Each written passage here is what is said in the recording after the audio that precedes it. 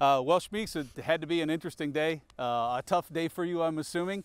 But uh, what led you to, to where, where you are today? Interesting day is one way to put it. Um, you know, uh, uh, somewhat a sad day, somewhat a fun day. You know, a whole bunch of different emotions.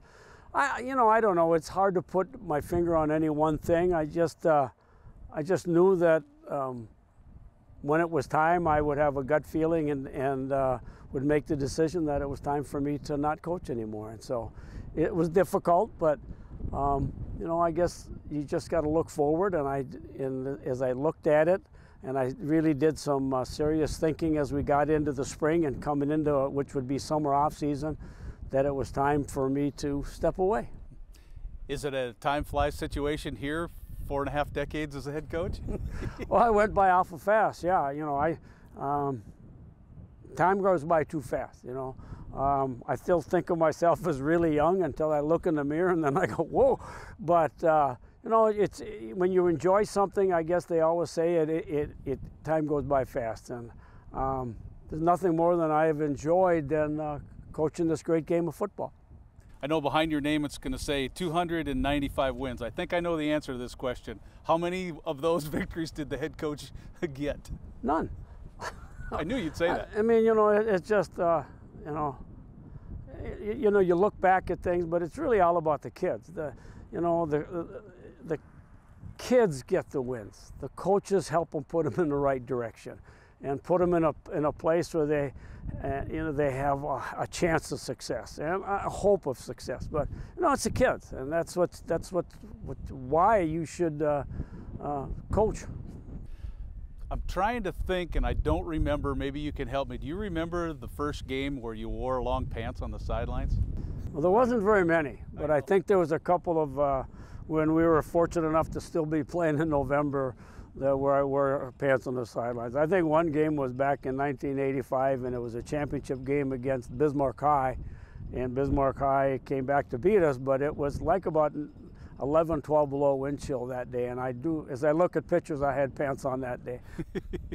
I don't know how many people knew that that was kind of uh, your thing for a long time, wasn't it? Well, it was. It's, it, it still was at the end, and uh, so it was just something I did, and there were some reasons behind it, but uh, yeah, it was something actually the kids even looked forward to or wanted to see. When I first started going and covering Saints games, uh, I was at Hughes Field, and then we transitioned to the bowl, and now we're standing uh, on a beautiful turf field that's got your name on it. Uh, what are some of your reflections of just your time in those venues? Well, you know, I think all of the changes uh, were good. Uh, but as I look back, um, you know, back in the days of playing at Hughes Field, it was affectionately called the Rock Pile by the end of the season. And uh, what was great about Hughes Field was the tradition at Hughes Field, the rivalries at Hughes Field. But back then, you know, Friday night high school football was the event in town. It was huge. And so the whole town looked forward to Friday night football games. So most of the town was out at Hughes Field, and so the crowd was, you know, if you remember the field, the crowd was right on top of the field.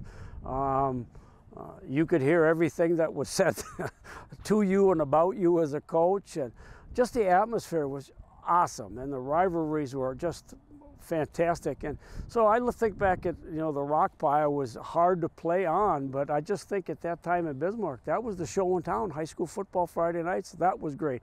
I think that uh, as far as uh, the bowl, you know, it was really exciting to be part of the beginning of the bowl. We at St. Mary's and St. Mary's football were part of the original bowl committee, and we were partners in the bowl. And that was exciting to get going, and it was a great place for the kids to play, and a great situation for the kids, and for the everything to get better. And then, you know, now th this place up here is, uh, I think, sometimes too nice compared to our old practice field. Um, but you know, it's been great. I, um, but it's really beautiful. It's a beautiful school. The field is nice. We've got a great place to practice. I think one of the sweetest things about being up here and with this field is we have a home field. Um, our junior high has a home field. You know, so they practice here, they play here. And so I just think that's really been a, a big, big plus in, in, in, in addition and help to our football program.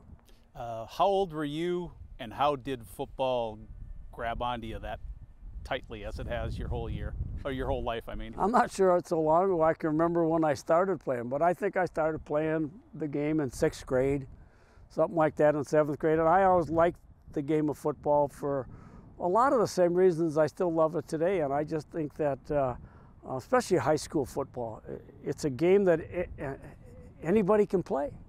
Um, your talent or lack of talent doesn't limit you. Uh, it doesn't matter to anybody of any size, anybody of any speed, anybody of any talent can play high school football and contribute to a team. And that's what I liked about it. There was so many different types of people and characters that could play. And I think some of our sports get really specialized and it takes great talent to play hockey and it probably takes great talent to be in the top eight on a basketball team. You know, you come to a Friday night at high school football, you know, 45 to 50 kids get to play and contribute to their teammates and their school and, and their buddies. So that's kind of what is always what I love about high school football. And I like the physicalness of it. I think that it's a game that really treats, really truly teaches how to get along with other people and how to be a good teammate to be successful. I think it takes everybody on the field and, and practice to help a team be successful. I think those are just great things. And then I, I do like the, the, the toughness in the game of football. Um, you know, you think about it, you're out here in August and it's about 98 degrees and you've got 35 pounds of plastic on you and some crabby old coach is telling you to run faster. And you get to the end of the year, it might be 15 or 16 below wind chill and you're still outside. And uh, so those are the things that I've always loved about high school football people remember championships. Those are the years I think that are almost, I, am not going to speak for you, but sometimes might be easy to coach because you have a lot of talent. But I, am guessing sometimes uh, there were teams that some of your, you and your staff's best coaching might have been done where you got two more wins out of a team you might not have known that people don't quite remember. Does that is something like a stick? Am I am I on the right track? Yeah, yeah. I think as you look at it as a coach, and I've always said this, um, coaches that are having tough seasons, um, and maybe some of the wins aren't coming.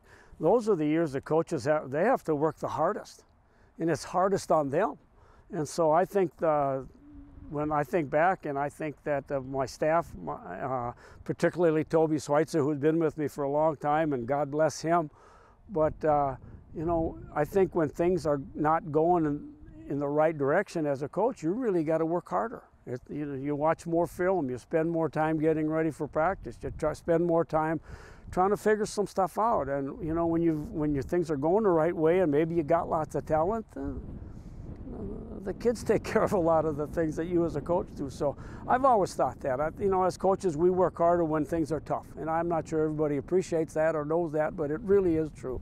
And lastly, Schmeeks, uh, what are you going to do now? Uh, come come Friday or come, you know, August when practice starts rolling around and all the things that you've done for the last four and a half decades. What's on the docket?